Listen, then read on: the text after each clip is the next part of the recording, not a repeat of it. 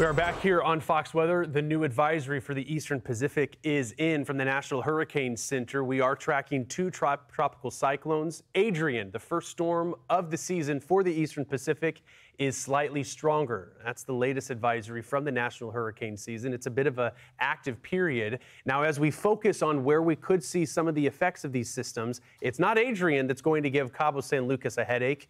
It would likely be the other storm, and we're waiting. That update is imminent here.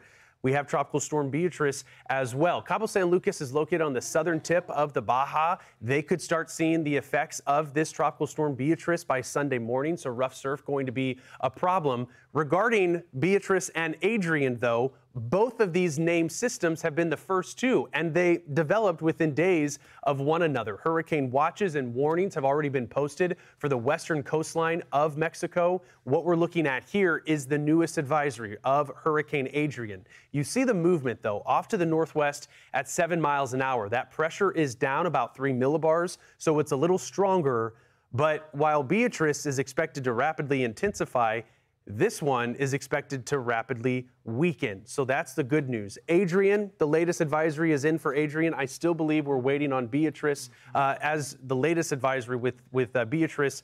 We still have it at tropical storm status, but it's this storm that we have to watch pretty carefully, uh, Michael and Craig. It's because it's moving off to the uh, northwest, and it looks like we just got it in. Yeah. It is yep. now a hurricane. hurricane. So we have two hurricanes in the eastern Pacific, and this is uh, just the start of some of this activity. Maximum sustained winds there at 75 miles per hour. The threshold is typically 74. As of the newest advisory, racing toward the northwest at between 10 to 15 miles per hour. And I'm more concerned about Beatriz as opposed to Adrian. Adrian, yes, it did show some strengthening, not going to affect land. Beatriz, on the other hand, we're expecting this to impact not only Acapulco right now, but all the way up toward Puerto Vallarta, a very popular vacation destination with hurricane watches and warnings already being issued.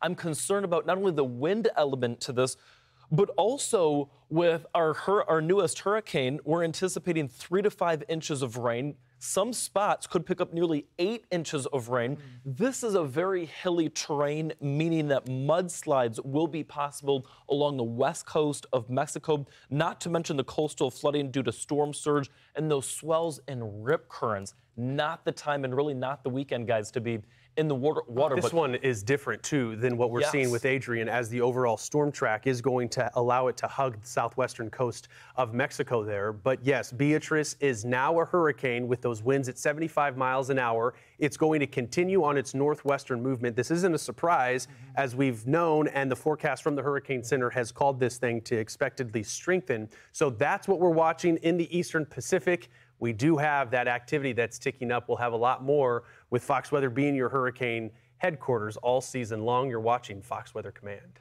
I'm Amy Freeze. Welcome to Fox Weather's YouTube page. We have more great videos on the way, so make sure to subscribe to stay updated on all things weather.